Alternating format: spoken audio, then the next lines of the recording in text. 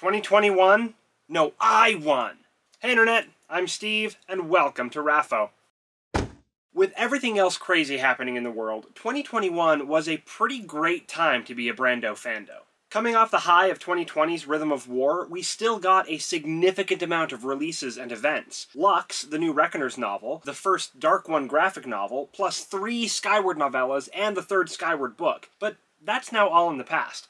What does Brandon have in store for the future? The State of the Sanderson. First, we're gonna have a new Legion story! Death and Faxes will be an audio original released by Mainframe, Brandon's audiobook company, due in June. Later in the fall will come the second installment of the Dark One story, Dark One Forgotten, co-written with Dan Wells, and likely a full cast audio production.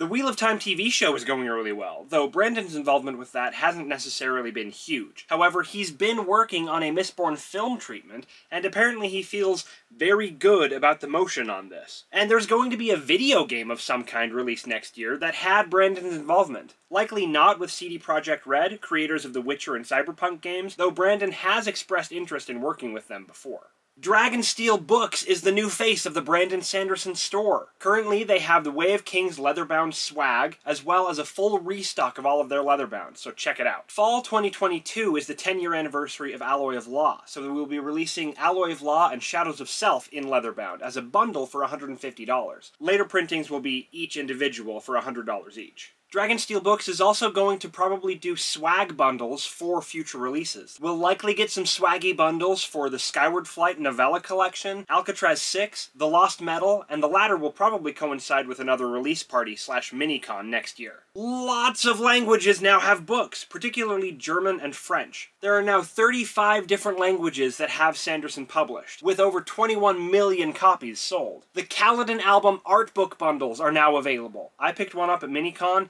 and it's gorgeous. The expansion to the Nauvoo Games Reckoners board game has been produced, though not yet delivered due to worldwide shipping delays. Their Kickstarter says they're open for late pledges, but when I clicked it, it said the project is closed, so I don't know. Other new things coming up, King's Wild Mistborn playing cards are available for pre-order, shooting for a spring 2022 release. Brotherwise Games is producing Stormlight miniatures, over 20 characters in high quality official canonical design. They should be coming in a Kickstarter summer of next year. Speaking of next year, Dragonsteel very kindly put out basically a full schedule of what's coming out. There are only two months that don't have some sort of release. December 28th was the release of Evershore, the third Skyward novella in ebook and audio. In January, the original, which was previously an audio exclusive, will come out as an ebook. In February, the Dawnshard audiobook, hopefully, will be out. April will bring the Skyward Flight hardcover collection,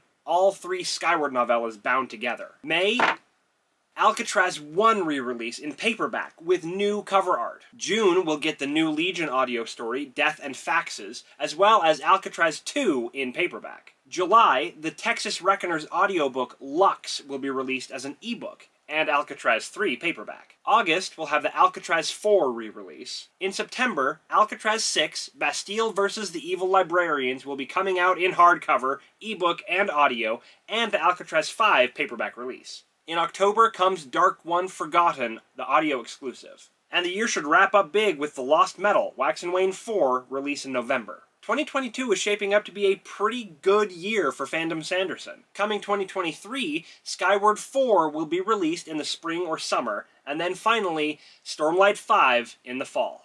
And somewhere in the midst of all that will be, hopefully, the White Sand graphic novel Omnibus. 2021 for me was actually pretty good. I got my Way of Kings leatherbounds on my birthday. I was going to post an unboxing of them, but my computer died. Still trying to reconstruct it. Along with the gorgeous coin displays from Dragon Woodshop. I ran a half marathon dressed as Kaladin. Bridge runs suck.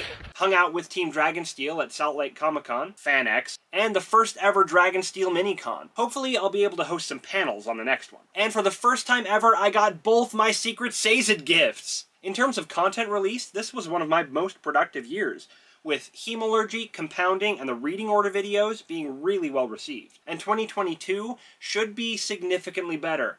With my kids getting a little older, I'm able to get more time to work on these videos, so I should be able to be a little bit more active in posting. Hopefully. I've got my next dozen videos planned already, so I just need to get them done. The first Cosmere Connections video should be coming soon, which will basically detail how everything that isn't Stormlight is all connected subscribe. I wouldn't be able to do this without the support of the rest of the fandom, so thank you specifically to my Patreon supporters. Doug, you're the best, and everyone else on my Discord. Let's make 2022 amazing, and read and find out!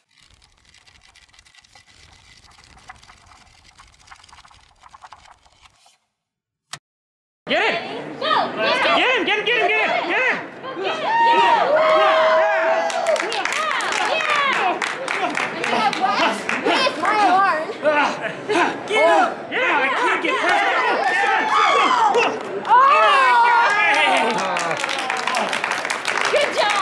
Good job. And one.